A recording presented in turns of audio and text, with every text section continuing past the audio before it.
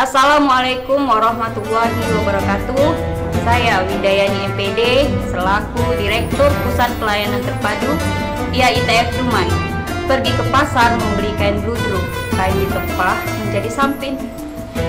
Kami segenap staf Pusat Pelayanan Terpadu mengucapkan mohon maaf lahir dan batin. Marhaban